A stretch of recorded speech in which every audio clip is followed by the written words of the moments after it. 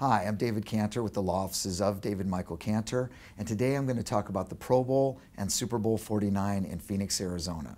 Now, I'm going to be talking about tickets and valid tickets. I have my Pro Bowl ticket right here, and it's got a lot of countermeasures to make sure it's not a forged ticket. There's holograms. You can use a black light, and you can see things popping out. You should match the barcodes on the side and on the top. There's all sorts of things you can do. But in reality, the best thing you can do is buy from a licensed ticket broker. Now, you can go to the NATB, National Associations of Ticket Brokers, go on their website, and you can find out the rules uh, for buying from a licensed ticket broker.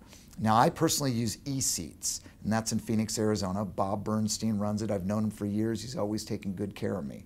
But keep in mind, it is illegal under ARS, that's Arizona Revised Statute Uh, 13 3718, to sell tickets above face value if you are within 200 feet of the entrance to a stadium or any contiguous parking lot. That means a parking lot that touches the stadium.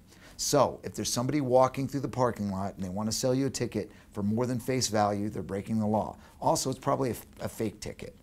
You shouldn't do it.